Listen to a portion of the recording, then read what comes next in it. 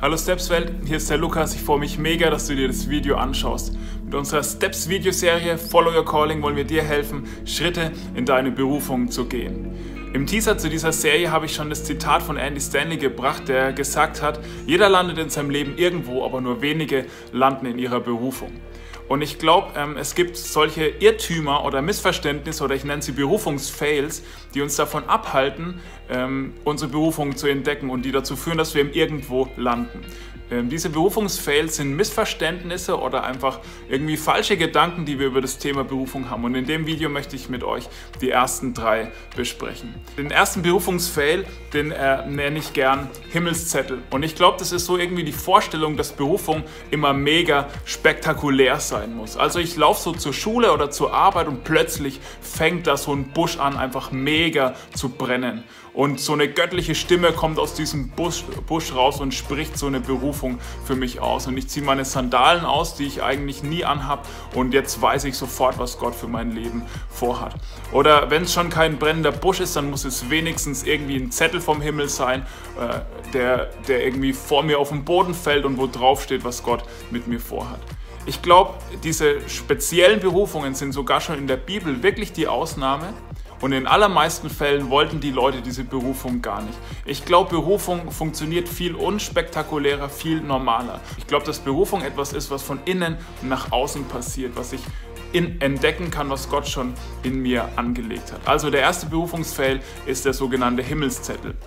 Und das zweite, der zweite Berufungsfail ist Berufungsangst. Und damit meine ich die Vorstellung, dass wir irgendwie Angst davor haben, unsere Berufung zu entdecken, weil wir ähm, so die Befürchtung haben, dass Gott uns dann was zumutet, was wir überhaupt nicht wollen. Wenn ich meine Berufung entdecke, dann muss ich nach Kambodscha gehen oder nach Turkmenistan oder in irgendein anderes Land, wo ich noch nicht mal den Namen aussprechen kann. Aber ich mag es doch eigentlich hier gerne in Deutschland und ich will viel lieber irgendwie hier in Deutschland unterwegs sein.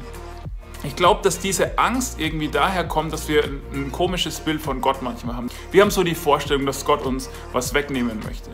Natürlich kann es auch mal sein, dass Berufung anstrengend und herausfordernd ist und ähm, wir an unser Limit kommen. Aber generell ist es so, wenn wir unsere Berufung leben, dann fühlen wir uns nicht eingeengt, sondern dann können wir richtig abgehen und wir blühen auf und wir, wir können unser Leben so richtig erfüllt leben. Also, zweites Berufungsmissverständnis, zweiter Berufungsfail ist diese Berufungsangst.